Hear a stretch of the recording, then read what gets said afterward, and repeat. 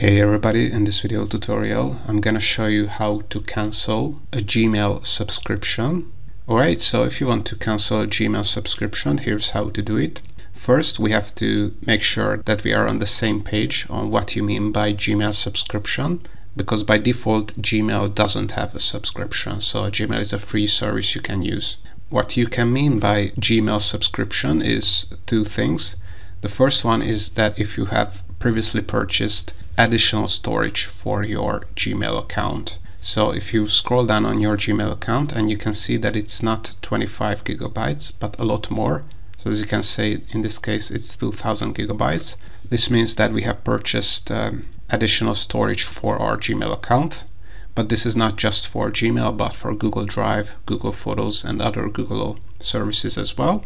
And if you want to cancel the additional storage your Gmail account has, then all you have to do is click on this uh, link icon here, which will open up your Google One account where you can manage your storage for Gmail, Google Drive, Google Photos, as you can see here. So I can cancel this Gmail additional storage. All you have to do is click on the gear icon in the top right corner here.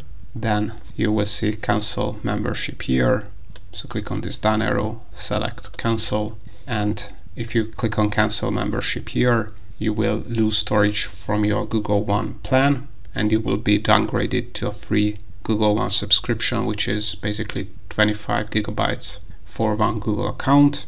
Keep in mind that if you are out of storage, you won't be able to store new files and may, you may not be able to send and receive emails in Gmail.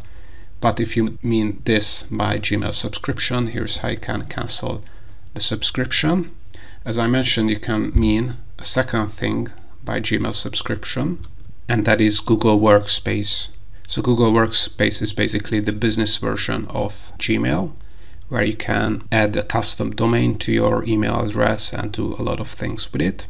So if you mean this by Gmail subscription, all you have to do is open up admin.google.com, which will open up this admin console of your Google Workspace account.